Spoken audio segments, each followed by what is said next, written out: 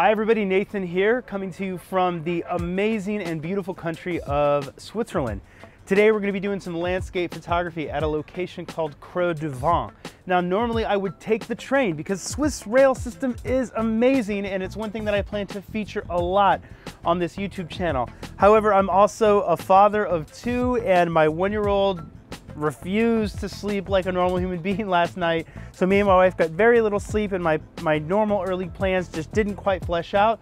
But we're gonna make the best of it. We're gonna rent a car and we're still gonna get to the location, even if we're not gonna get to hike as I was planning on.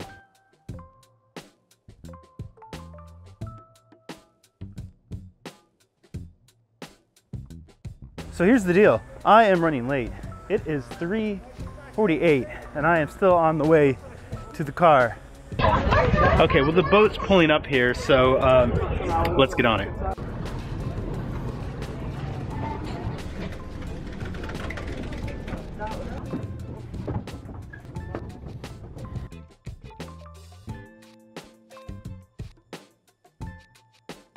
Okay, so off the boat, but I missed the first one.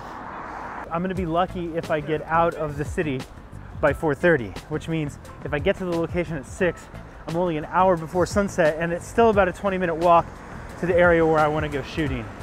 I, I, almost thought, I was like, you know, I'll try again another weekend for the video and, and you know, maybe I don't want to force it. But here's, here's the thing. I want to improve at photography. I want to improve at landscape photography. You know, I, I want to make YouTube videos and if I wait or if I, if I choose to, to not race the clock, I have zero chance of doing any of that. But if I take a gamble and I go, even if I'm a little late for the light, I can still maybe try to catch some images. But I, I, I get some chance at practice. I get some chance to practice at YouTube videos. I get some chance at everything. I have no chance if I don't try at all. So I'm gonna go for the try. All right, well I gotta, I gotta walk a bit. I gotta find where this rental car is. It's like one of those car sharing programs. So see you in a moment. It's not working out as easy and as lovely as I hoped it would be because where my rental car is appears to be in a closed street. Found it. Just before the road is closed, there's a little driveway here that I have access to. So crisis averted. I was really ready to just find a different way. Okay, to the car.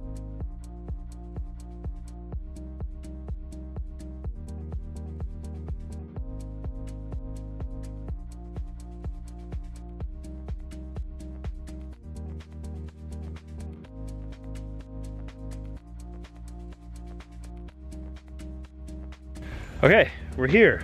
But the issue kind of is the, the high altitude clouds that were around when we got started have actually, they've gotten quite a bit thicker. In fact, the sun is just basically right here and the clouds are thick enough that it's not really punching through.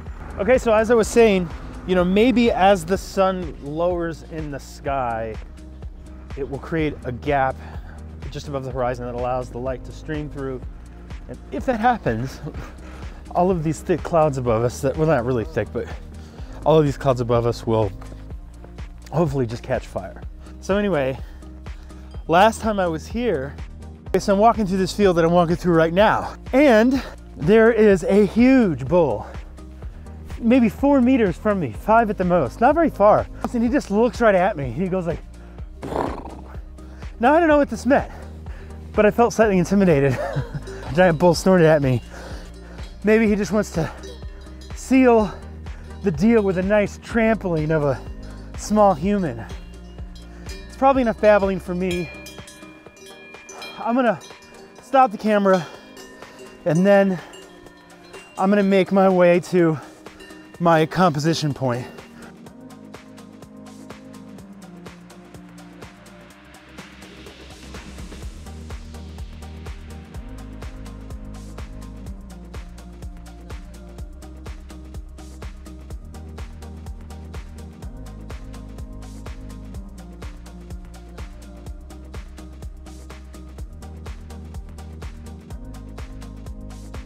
Okay, I'm sorry for the shaky footage. I am not a trail runner, nor are these trail running shoes. But I just looked behind me and I got a picture and I saw like yellow, red, purple. I was seeing lots of colors. And we still have a chance, you know, because it could just be that we need to wait, you know, 20 minutes after sunset. Okay, there is no light in the sky right now. But this is one of my spots for a composition. Okay, so the reason I like this composition, let me pull you back this way. This is one of the potential spots I think is you're very, you're very close to this wall here, and it very much acts like a leading line. And I think I need to go wider than this lens. My thought was to basically take the shot like this, and then have the sky obviously not be this color. So the other spot is that I want to check out, and I think this one's going to be better. I just have to figure out how to get there. Uh, let me show you because it's very close to this one as well. Just basically where those trees are. Now I don't know how steep that is, but I'm thinking that there might be a shot right there, somewhere over here.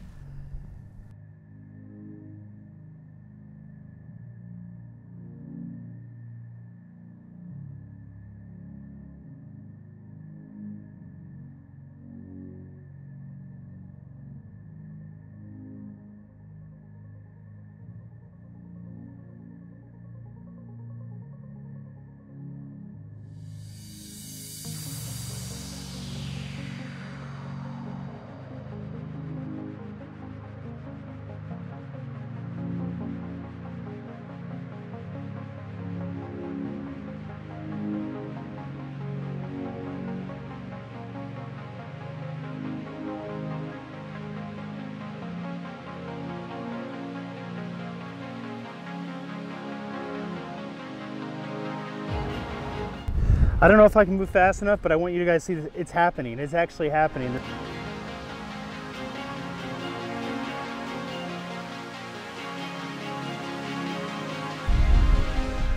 Okay, I don't want to, I do not want to take the time. I was going to get the other tripod out and show you what's going on here. This sky is exploding. It looks like, according to my histogram here, I think I can get everything in one exposure. So I'm going to go ahead and just take a shot. I, I just kind of have the composition pretty simple. I'm going to take a couple different ones because I always struggle to decide. But I have the Creux du Van taking at most of the frame. Uh, I'm going to do this at f11, focus about right there, and take an exposure. Okay, so for this one, I am doing a bracketed shot here, exposing specifically for the highlights.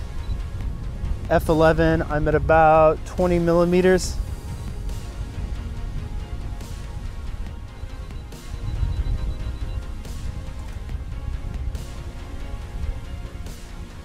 And then I'm gonna do one at just no exposure compensation and take that shot as well.